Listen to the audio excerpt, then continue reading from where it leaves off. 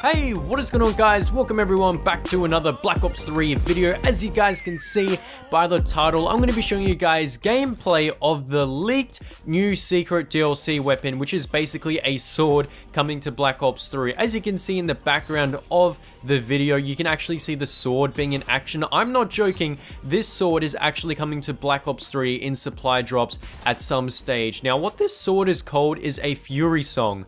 Uh, to be honest, I'm not exactly sure why Treyarch are adding all these random weapons into the game like swords, crossbows, all that type of jazz. But I'm guessing, you know, it does earn them quite a few money. And what I mean by money, I mean a lot of money because people definitely want this sword. And the first thing I've got to say about this sword is it does look pretty cool. It is a sword I would love to see uh, me use in the game, especially doing a live video. Not only that, but you can see by the sword already that it actually swings quite fast uh, compared to normal knives or whatever. And to be honest, this is probably one of the most cool looking supply drop weapons there is. Of course, you know for a fact there's like the butterfly knife, you've got the wrench, and all in all, I still personally think that this sword is going to blow everything out of the water just because how cool it looks. And I do believe that it will either be in a, a legendary or an epic uh, supply drop variant. I'm going to put my hands down on a legendary because most of the butterfly knife and the wrenches are legendary. So I'm going to say it is going to be legendary. Probably be a little bit hard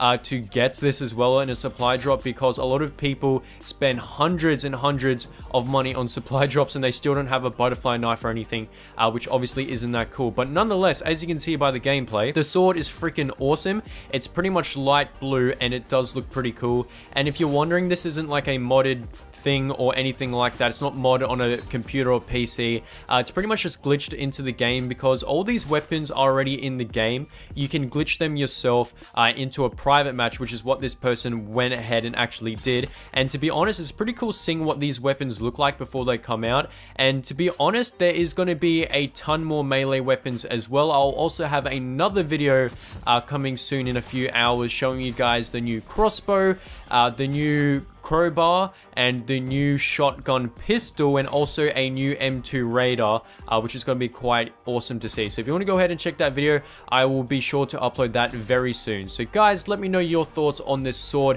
coming to Black Ops 3. I'd like to know what you think. Let me know in the comment section down below. Hope you guys have enjoyed, and I will catch you guys later. Globe out.